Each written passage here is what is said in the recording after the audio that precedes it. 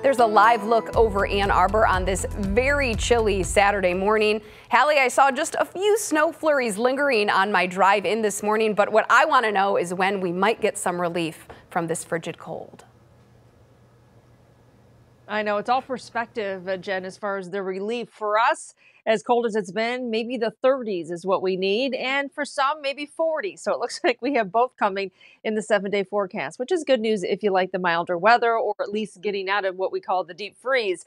A few lingering snow showers this morning over the next couple of hours. We'll be winding down a quiet afternoon. Then we'll be tracking our next system to bring in snow and even a wintry mix or rain late Sunday night into early Monday. We'll track that in a moment. But look at these temperatures. We're at 13 degrees in Adrian right now now. Also, Monroe, 16 degrees in Howell and 15 degrees in Pontiac. So temperatures certainly are on the colder side of average. And then, of course, we factor in any wind at all, and it feels more like zero in some spots, like Jackson and Monroe. Feels like four degrees right now in Pontiac, and four is your wind chill in Howell. So as we go through the day today, our wind chills will stay in the upper teens. So remember that if you're doing any sledding today, maybe you're headed to the ski slopes. So Alpine Valley temperatures in the mid 20s and really across the area, including Mount Holly, Pine Knob, but looking at maybe a little sunshine from time to time. Clouds will win out overall. But if we can get peeks of sun, it will be nice. Okay, leftover snow showers, especially the west side of the state coming off of Lake Michigan. For us, we're seeing a little batch moving through Oakland County, drifting into Wayne County.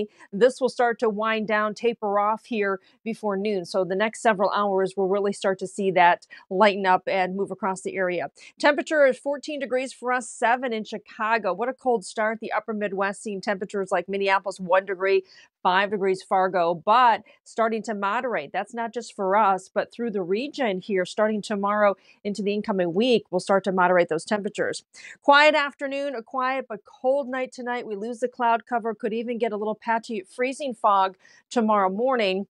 And then we start to notice the snow coming in. It's going to be after about 10 o'clock tomorrow night, so late into Monday morning. As the uh, nose or the leading edge of some milder air tries to come in, we could certainly see this change or mix with rain into Monday morning. Overall, it looks like a slushy one to three inches across the area, uh, two to three inches west of Detroit. And then the further east you are, because you're seeing the better chance for some rain, it's going to cut down on those snow mounts. So temperatures tomorrow, at least we're up into into the low 30s tomorrow, and we stay dry right through the afternoon and evening. Today, it's 27 for a high for us, 8 tonight. And tonight, is the coldest here of the next seven. Temperatures above freezing Sunday, Monday, 40 on Tuesday. Could see a little bit of a mix by the middle of the week.